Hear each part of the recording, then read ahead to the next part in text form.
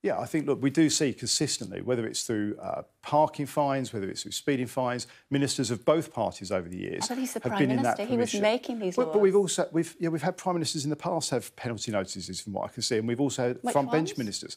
Well, I saw there was a, a parking notice that Tony Blair had once. We've seen front bench So Labour ministers. parking, and, no, and no, be no, frank, You make the point. gov- government so you ministers think as well the prime, the previous prime minister having a parking fine is in any way uh, correlated to our prime minister making COVID rules when the country was in lockdown. 120 odd thousand people have died, and you can make the comparison between the two. You're saying to me... No, I'm somebody- asking you yeah, if yeah, you no, can. You, you asked me if somebody who sets the laws and the rules can also be somebody who breaks rules. That clearly has happened with a number of ministers over the years. But Tony Blair didn't But make the rules on parking. Well, the, the government is responsible for all of the rules and regulations, so you could argue that governments don't pass um, the, some of the specific local fines on parking, but still, if a parking fine is broken, it's still a law of the country. Are you completely comfortable making the comparisons with parking fines and what the I'm prime just minister making did? the point that No, I'm just penalty- asking if yeah, you well, are, uh, in the all sense that- sincerity. yeah, absolutely. In the sense that ministers in the past have sadly been subject to getting fixed penalty notices on a range of issues. They can continue to be ministers. They do continue to be ministers. We've seen that in both governments, of the previous Labour government as well as the current Conservative government.